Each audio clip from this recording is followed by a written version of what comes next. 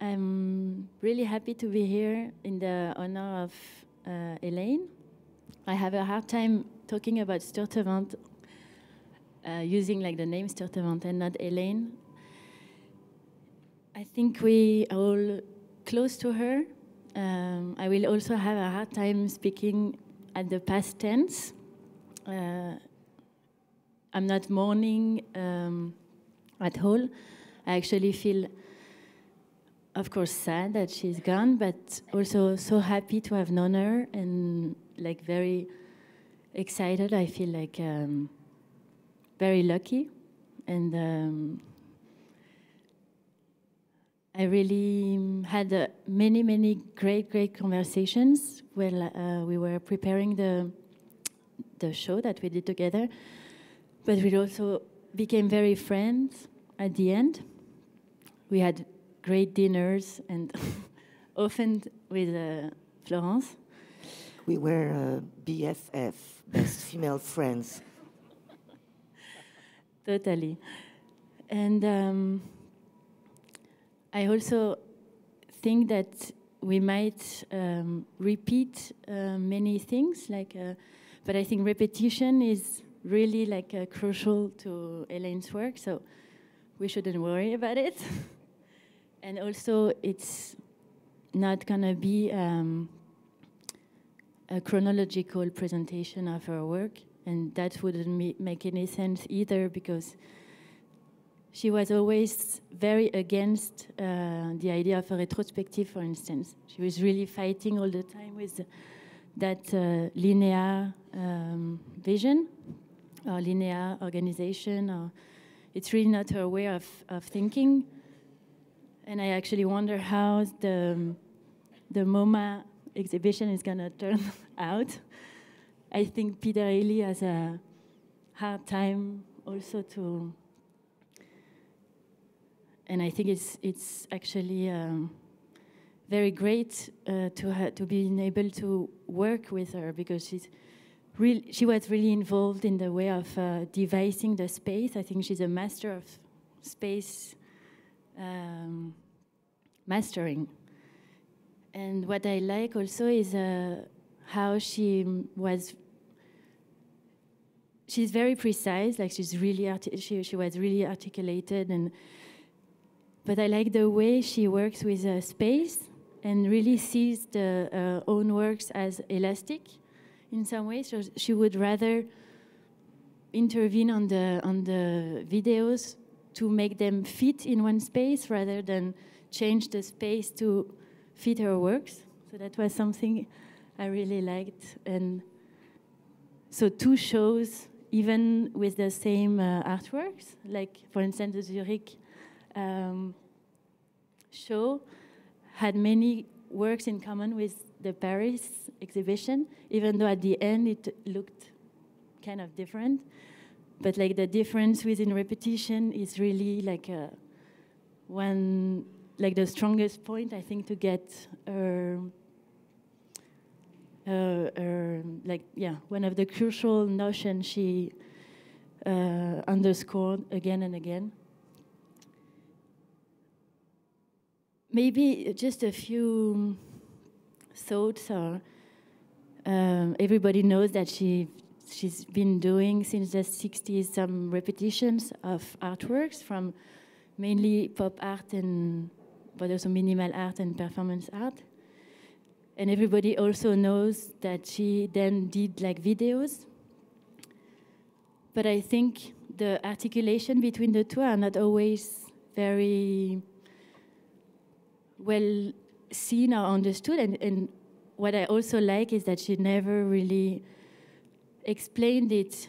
Like she's not, she's kind of opaque in some ways, but it's not because it's not clear in her mind, or, but it, she just wants people to keep um, thinking, wondering. She doesn't give like all the keys or all the the clues to. She she really like want people to wonder and to keep wondering. But what I learned or what I found out at the end is how coherent despite the the, the, the evolution of her work from so from repetitions of paintings, of sculptures, and then the video work in the 90s is actually maybe two main ideas. One is how in the 60s, so at, at a moment where there was the so the pop um, idea of um, reproducing, like uh, of course with with uh, Warhol uh, factory idea, is that she want she wanted to put concept over object. So it was a way of commenting also the present time, and I think that's what she kept doing, like really reacting to the contemporary time she was uh, in, and never in a nostalgic or in a moral way, like very. So the idea of wondering what was a signature in the artwork or market um, stance. And then in the in the 90s, she she we can say that she had a shift and uh, and really decided to work with video as a more dynamic uh, medium. And she foreseen that maybe copying, like keeping copying artworks from others would be misunderstood, and it, it actually was misunderstood as a, a kind of celebration of, you know, the, the simulacra, the, the cloning, and she felt that she rather shift to another medium, which was video, and that she kept like working on on, on uh, existing images. So really, with this idea of sampling, but to to also. Um, she was she was really afraid of like a, a, a copy without original that was like the, the, the era of the internet uh, era, the, the, which is very close to, to DG, uh, capitalism. So she, in a way, she was anti. Um, she, she, she really felt like the surveillance um, risks and, uh, and how the, the internet and or the cybernetics, as she kept uh, calling it, could actually control our lives. And I think she was really ahead, like she kept being ahead actually. And when she felt that there would be this confusion of, uh, about her copies and the internet um, copy realm, she decided to withdraw also for 10 years. So there is this very blurry um, period of her curriculum, like 74, 84, where nobody really knows what she did. And it's great. I think it's like a really strong um, sign of her freedom and, and, uh, and uh, libre arbitre, like it's like a relâche, like uh, Duchamp did. It's like really, I just, just and um, and even in, in the in the in the latest uh, book that was published uh, on her, like the Bruce Hainley uh, book, he doesn't reveal any anything from these 10, uh, 10 years, and I think it's very good that we keep it like a, uh, as a as a our own um, freedom, kind of sculpture. So um, yeah, this is uh, some starts, I guess. I have a I have a little text by um, Eugene Schwartz uh, that we published in File magazine in '86, uh, and I'd just like to read out the first few sentences because I think it captures Elaine very well. She was possibly the first postmodernist intruder on the American scene, certainly the first to use Johns flag paintings in the same way Johns used flags in his paintings, the first to use Stella's flat paintings in the same way that Stella used flatness in his paintings, etc., the first to reverse the modernist direction of creative flow, not from idea to object, but from object to idea.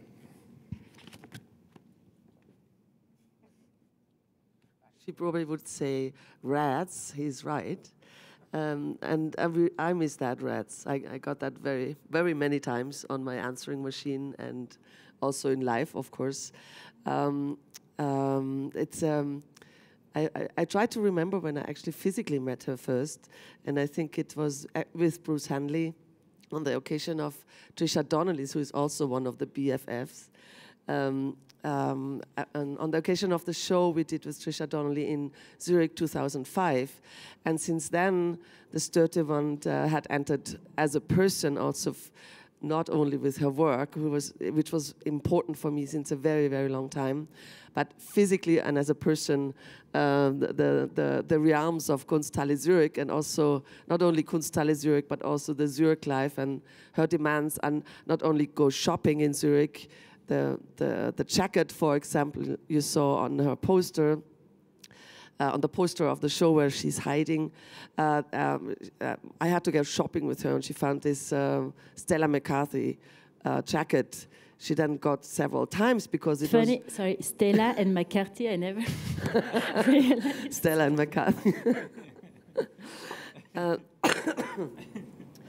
Yeah, and um, we had um, it, it, for, for me it was um, an incredibly um, forming time really to to be able to not only talk to Sturtevant for for almost 10 years now but also work with her occasionally. And for for 8 years it was basically with uh, involving uh, she got involved in talking to artists uh, who had shows at Kunsthalle Zurich and um, not only talking to them, but also uh, really demontaging them in her perfect um, um, intellectual and, and an emotional way, and really understanding um, what the artists of the the beginning of the 21st century are struggling with or are about, and um, I think what, what, what, what is one of the crucial elements in, in uh, Sturtevant's work, also from the beginning, when you think of her uh, repeating Warhol 65,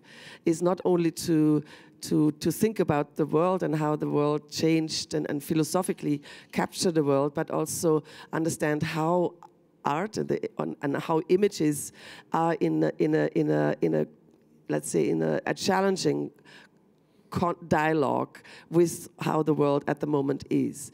Um, in the in the early 21st century, so to say, the first 10 years of the of the 21st century, many artists uh, looked back at at modernism, repeated, but uh, you know, like uh, like try, trying to solve the the the um, yeah, the, the, the project of modernism, and it became very formalist, in, in so to say, and and um, her, her comments on that were extremely interesting. And 2006, we not only did a show with uh, General Idea at Kunsthalle Zurich, but also with um, Wade Guyton, Seth Price, Josh Smith, and Kelly Walker. And for both shows, I mean, kind of uh, really with a uh, general idea coming from the same time, having having done equally radical um, works and comments towards what the the the, the authorship, uh, the multiplication, uh, freeware, the transport of, of of ideas and art meant. And uh, you just um, read from the File magazine where. Uh, of course, Sturtevant had to be in it because it was the, the same mindset of, of how art sits in society and also develops um, yeah, questions of society further. And uh, she, she, we had a conversation with uh, AA Bronson at Sturtevant and Hans, invited Hans Ulrich also to that conversation. And, uh, and uh, later the year, then she spoke to the kids, to Wade, uh, Seth, Kelly, and Josh. And um, they were, of course, more than afraid to meet Sturtevant. They were um, I mean, it was a, it was a, an incredible scene. Uh, Josh Smith tried to uh, be a little bit on uh, calming weed. Uh, Kylie Walker was hiding between, after, under his hat. Uh, Wade uh, was so afraid to meet her that he did not dare to say a word in the beginning. And, and Seth Price was, you know, pipping himself up and saying, I have read everything she also read. And then they were on that panel and not able to to speak with her. And she tried to, uh, she was asking questions. And, and um, uh, Kelly Walker at the point started to talk. And when he starts to talk, he cannot stop. So he was going on and on and on. and suddenly, uh, Sturtevant gets up and says, You're not talking to me, I'm out of here.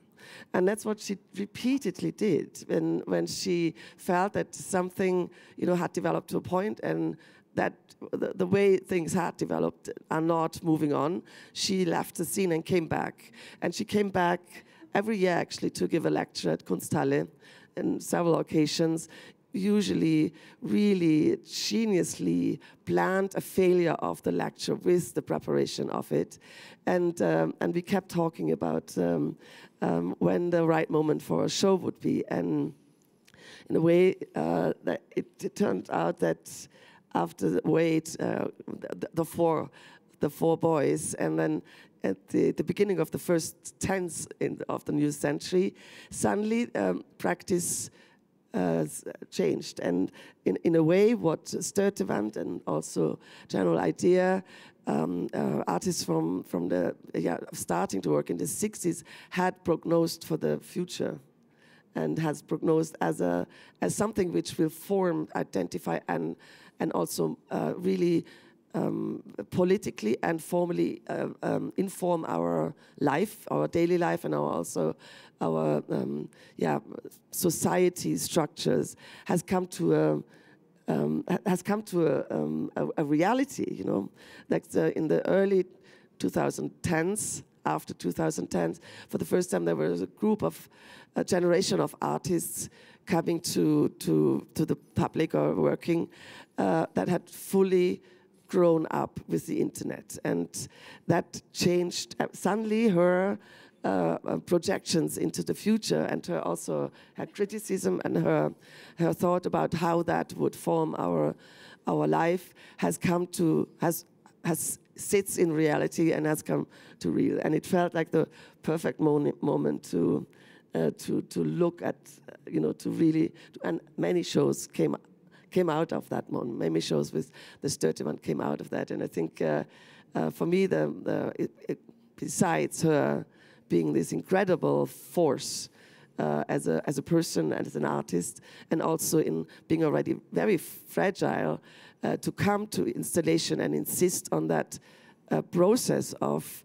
re uh, dynam- re how should, should I say that re-energize works in putting them in other relations, in every, in other dialogues, in, in every show, uh, was just incredibly fas fascinating. And I know I'm forgetting things, but that doesn't matter because we don't forget them. Uh, I thought I wanted to briefly say what, uh, uh what you mentioned about her then going into video. And I think that was her was uh, equally consequential for her saying that the digital now had you know, had started to take place. And, and to, to say, even though she would uh, um, fantastically steal material everywhere, but um, to say that this is um, where she, in, a, in another way, defines how her voice was in, in, in pieces, and, and that she chose video seems so consequential and normal to me that um, yeah that I thought that is fantastic and how she was Natural. over 70 then you know yeah, she was. It was natural, and it was because she always worked with the mediums that were accurate at the right moment, and. But maybe I could say also something about the House of Horrors, which is on the image right now. It's a really a like a Gesamtkunstwerke in some ways. It's really a, a, a ghost train uh, in real, like scale one. And uh, it's also, even though it's like a sculptural installation, it also has this kind of uh, traveling idea, and, and so it connects very well with her video work. And she, it was very funny the way it it, uh, it uh, got um, to to exist. Is that at first we thought that she would only have half of the exhibition space at the at the Arc uh, in Paris, and then we realized that of course she had to have the whole space. It wouldn't make sense to uh, not trust that she could be on on the whole um, level. And she was like, but I think we already had like a per, like the perfect show together, and I don't think we should add anything. It doesn't make sense. It's it's like the show is devised, and so I told her like, but like think of something eh, like you never did before and would be willing to do. And she, she, she said, almost as a joke, like, yeah, of course, there's this ghost train I kept thinking of. And, and as soon as she's, you know, evoked that uh, idea, I was like, we have to do it. Like, it's totally crazy. It's six months before the opening. But it's so amazing. Like uh, I could see that it would be like uh, the the thing not to not to miss, of course. So we did it, and I was so glad. Also, she, I mean, she was so um, energetic. It's crazy when it, like she was really able to create that masterpiece, like very late, um, and and she um, included some um, uh, references to former works of her, like video work, like after the painter of uh, McCarthy.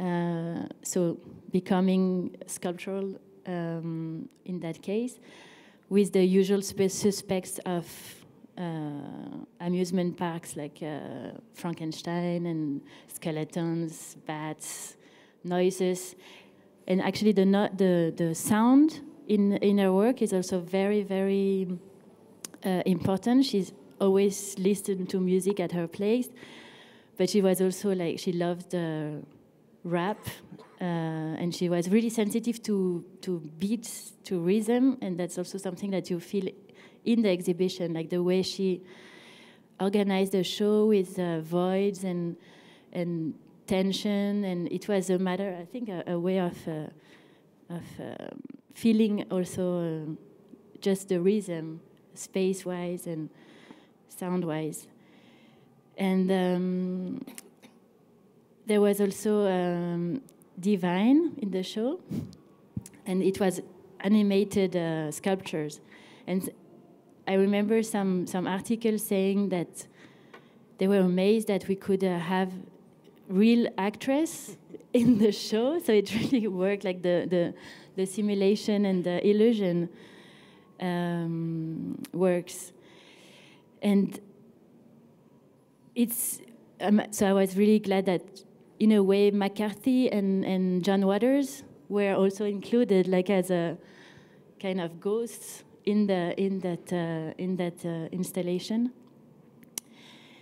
and um, and now it's part of the collection. Oh, yeah, and she had this um, uh, sticker, so it, it, could also spread out the word, and we could see all those uh, stickers all over, like uh, around the museum, as also a, a way to to get people uh, to come. And and the, installation is going to be like almost permanent in the in the collection of the museum starting next year, and I'm really looking forward to it. I'd, I'd like to go back about 30 years, which is when I first met Elaine, uh, 86, 28, 28 years ago. And uh, General Idea was producing an issue of our File magazine uh, on the subject of appropriation. And uh, I hadn't met Elaine before, and when I met her, I found her extremely irritable and bad tempered and not a very nice person. And I think the problem was that uh, uh, Sherrie Levine was going to be on the cover of the magazine. And this uh, was something she was not so happy about. But I, I, I did offer her um, eight pages, the first eight pages of the magazine and the last eight pages of the magazine to do anything she wanted with. And uh, the strange thing is that I don't actually remember what she did. Um, J- JRP has, has brought out this five volume reprint of File magazine. Um, and in there, uh, we can see uh, the eight pages at the front and the eight pages at the back look like this, uh, which was a printing error. When the magazine came back from the printer, I discovered I had 16 pages of uh, this purple color, which looks a lot, in fact, like carbon paper. So I was terrified to show Elaine. And finally, I got up my courage and took her some copies, and she was thrilled. She said, This is much better than what I proposed. uh, carbon paper is just right for what I want in the world. Uh, so that's my early memories of uh, Elaine Sturtevant. Maybe ha would have said erratum musical for this mistake. yeah, I also want, would like to come uh, go back a little bit, uh, very briefly, uh, when I met her first in Paris, of course. Uh, let me see. I need my glasses. Sorry. Uh, Ute Meta Bauer introduced me to Sturtevant more than 20 years ago in 1992 on the occasion of the opening of the exhibition où, un regard sur l'art en Allemagne at the Musée d'Art Moderne de la Ville de Paris in Paris. I have to admit that, at, that I had a very vague idea of her oeuvre at that point. But I was deeply impressed by this obvious, older, but very stylish lady with a short, grey punk haircut and fluorescent colored fingernails. With her very sharp but brilliant criticism on the exhibition that we saw together, dressed in her lambskin coat, she appeared to me like a wolf in sheep's clothing. As far as I remember, she owned, the only work of art she liked in that exhibition was a children bicycle and the traps by Andreas Slominski.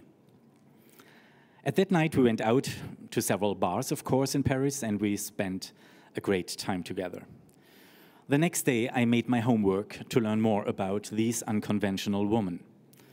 The first hit was an invitation card for Sturtevant's most recent exhibition at the Kunstverein in Stuttgart in 1992, the first profound show at that time in Germany, organized by Tilman Osterwold. The image on the card shows a self portrait by Sturtevant as Beuys, la rivoluzione siamo noi. So to say, we are the revolution. What a productive provocation. This was a kind of refreshing shock for me as a Beuys scholar. Ten years later, in 2004, when we at the MMK in Frankfurt organized Sturtevant's groundbreaking overview show, we devoted the entire museum space exclusively to the artist's oeuvre, involving the last four decades. It was one of the most impressive moments in my career as a curator to see her installing the work of art by herself. It remains unforgettable to me seeing her crawling on her knees for almost a day to recreate Beuys' 100 air pumps installation, a work which has been known only from old black and white photos from 1986. I realized at that point how much devotion she puts in such a work of art and how much she already had internalized the work by Joseph Beuys since the late 1960s. Following Marcel Duchamp, she invented the anti ready made by creating the original again. The brutal truth is that it is not a copy, was the title of the MMK show in 2004. In her famous photo of Duchamp Relâche, Sturtevant, the female artist, is handing out the apple of seduction to her male artist friend, Robert Rauschenberg. And she always pointed out, I have nothing to do with feminism. The MMK show was definitely the most challenging and radical exhibition in our museum's history.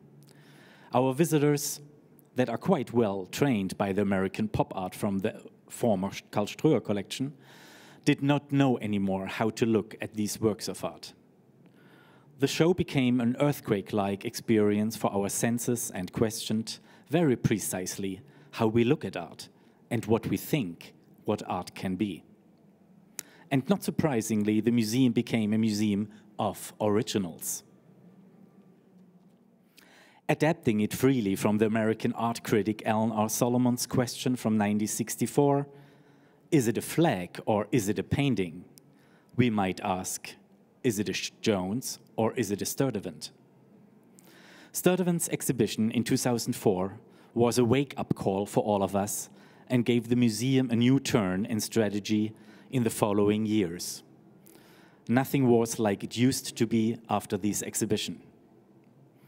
In the course of the fast, past 50 years, Sturtevant has developed perhaps the most radical oeuvre of her generation, an oeuvre determined by a rigorous and insistent conceptual approach. She was concerned with more than the mere reception of art. Her aim, rather, is a change of mental attitude. She discussed and provoked the spectator and the art world in general to equal degrees by repeating the original works by contemporary artists. Astonishingly, soon after the originals were produced.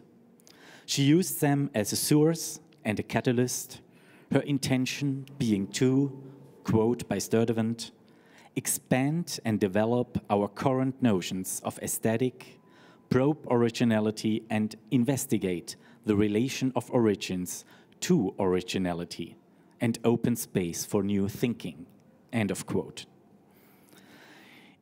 On October 31st this fall, we will open the show Sturtevant Double drawing double reversal with 100 drawings from 1964 until 2004, a project developed in close collaboration with Sturtevant over the last two years. The exhibition will travel to the Albertina in Vienna next spring and to the National Gallery in Berlin summer 2015.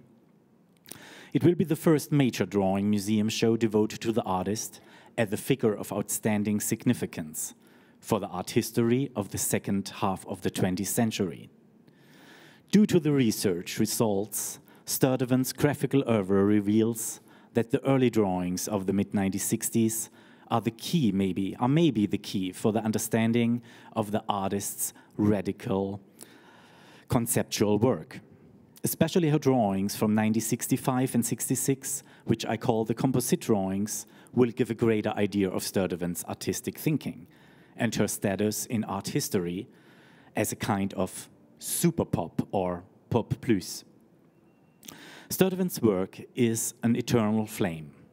It is a work for encounters, dialogue, and engagement, a work whose activity never creases. This activity is an act of thinking. The eternal flame is all the fire that stays alive. The fire of ideas, of concepts, to review our position. Sturtevant was always, through her career, over five decades, in the engine room of contemporary art. With a mix of intuitive intelligence and a brilliance of thinking, she always took full risk. Courage was her outstanding characteristic. Sturtevant could sharply criticize you, but it was always with total dedication. She was a brilliant thinker, full of humor, and extremely generous, political, wide awake, and adroit, and without compromise. John Waters said in an interview in our MMK catalog 2004, quote, getting right down to it, cutting out all the stuff that doesn't matter, down to the bone. That is what I admire about Sturtevant's work. No messing around. Very brutal. End of quote. Thank you so much. There is one drawing, I think it's my favorite one. It, I am sure, I hope it's gonna be in, in, your show. It's called uh, Don't Drink, Don't Smoke, Don't Think. And it's, it's a drawing collage. And it's really my favorite piece because it says exactly where she stands and how virulent she is like against conservatism, political correctness. And she always told me like, oh, she, I, I'm a smoker, I'm a drinker, and I hope I'm a singer. But she always said like, oh, please smoke. I love smokers. I actually don't trust non-smokers. and and she she always like back in the in the 60s all her work i think is really against laziness um, constraints of the um, she's the body and the brain and i never saw her like so nervous and and and, and really in, in anger but with the, uh, an ad campaign that was all over Paris a few years ago by uh, Diesel, the brand, the um, uh, clothes brand, Diesel. And it says, it said like all over, really like in the subway, in the street, big, big uh, posters, be stupid. That was the, the main campaign. And she kept saying like, you know, that's where we are now. Like it's like be stupid being like the trend and and I think that she foresaw that kind of evolution uh, right like back in uh, in in the 60s and uh, and um, and kept really fighting for um, what she called the biopower which is she she never like did a, an opposition between like thinking and pleasure for instance or so that's why her work was so erotic and the way also she she of, of course said she was not a, a, feminist. She didn't want to actually go into that discourse, but what she did was so feminist or post-feminist uh, right away, and there is not so much um, written uh, on that uh, side, but the more I look to her work and the more uh, naked images of her I see, and but never, of course, like uh, seducing, nude or posing images of her. Always walking, always in uh, in motion, like on the image now. And I think that's a great um, image of her. Like it's really like so relevant and so um, it tells so much about how she was, like very bold, very free uh, in her mind and in her body, I guess. Okay. uh, so one step back uh, in the early 90s, I met uh, Sturtevant in Golfe-Juan, which uh, she would never pronounce. So she would say, I'm staying in Gauchoir. So where do you stay? I'm staying in Gauchoir. But well, we had a lot of drinks in Nice uh, by then. I think it was maybe 92. She was uh, preparing this solo show at the Villa Arson. Uh, I had just opened the gallery in Nice. We became friends uh, very quick.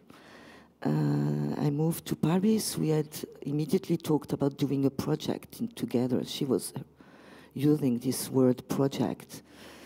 And um, in uh, 98, she came with a project about uh, uh, the World Cup and Adidas, who was by then the main sponsor, and proliferating uh, advertisements with uh, soccer players uh, playing soccer and advertising Adidas.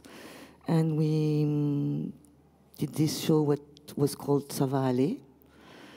Um, she had transformed uh, the gallery in uh, a very weird uh, multiple layer space with the projection of uh, uh, the stadium uh, distorted on the wall on the walls.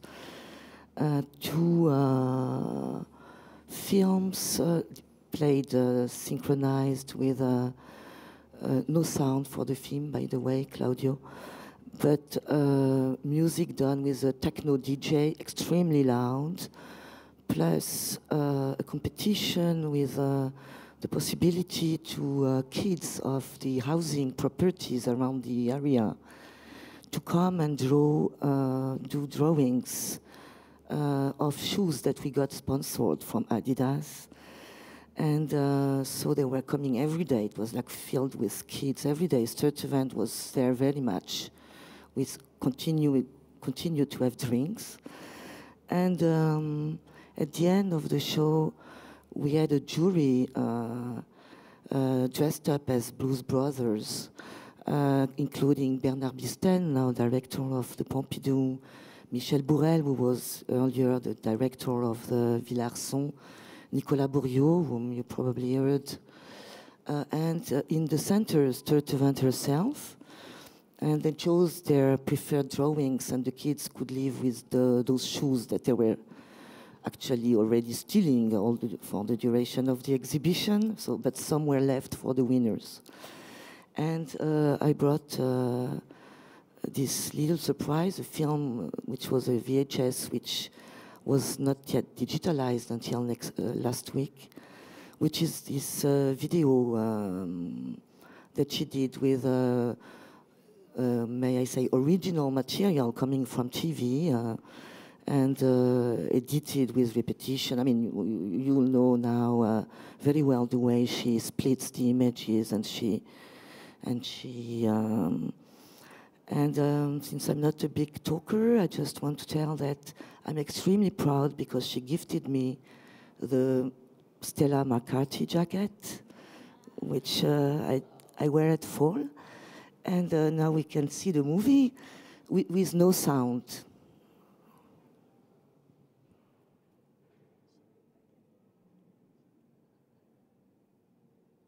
It may be pretty boring. It's 11 minutes. It's, it's genius. So this is Batman.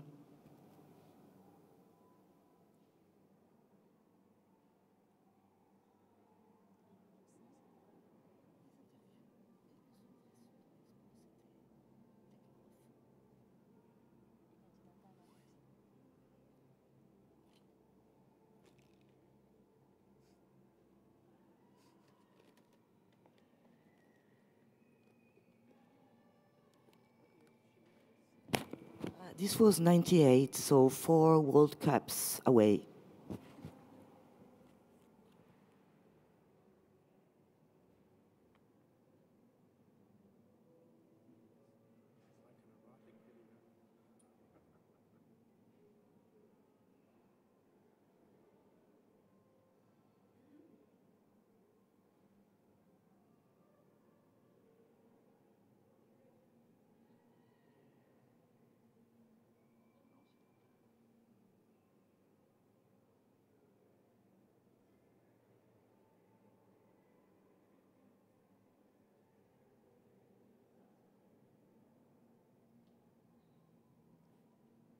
Like Muybridge.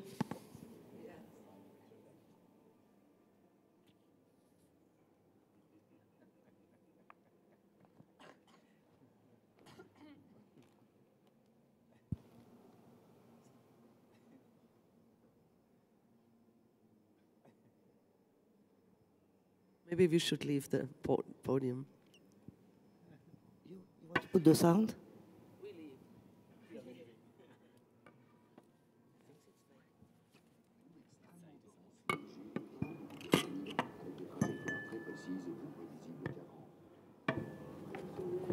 Goodbye.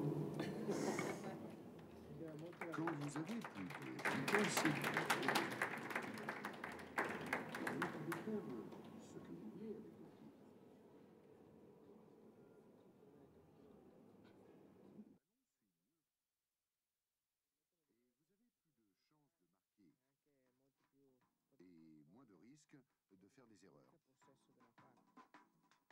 Pour marquer le fait que cet événement